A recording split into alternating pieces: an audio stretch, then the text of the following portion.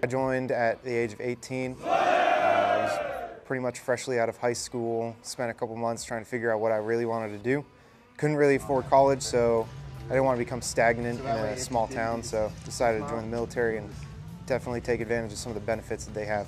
I choose to wear the uniform because of all the people around me. I've made some of the most incredible friends in the military and just that sense of camaraderie. not really sure what I'd do without it. Being named the USAACE Drill Sergeant of the Year is absolutely incredible. Being given this opportunity to compete down at Fort Rucker and actually coming out winning against some very strong competition uh, in all the competitions that I've done so far is incredible and definitely want to set an example for my soldiers. As an NCO, I want to motivate the soldiers by competing in these competitions and showing them that it can definitely be done and then asking them to do the same and trying to coach and mentor them throughout their time here.